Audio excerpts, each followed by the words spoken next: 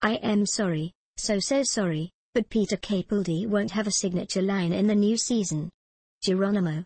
Fantastic.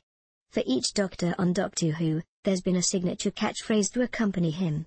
That is, until now, prepare for both of your hearts to break, because Peter Capaldi's new Doctor won't have a pithy saying at his disposal.